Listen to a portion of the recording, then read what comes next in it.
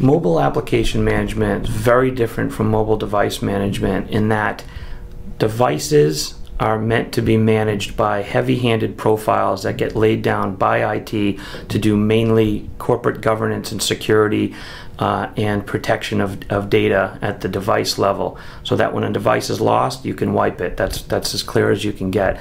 Application is management and mobile applications are really are meant to untether a mobile workforce. This is where you get to innovate and you come up with great ideas uh, for apps that, that that empower your people and you need to start with a platform that uh, really knows how to do this in a full life cycle uh, environment.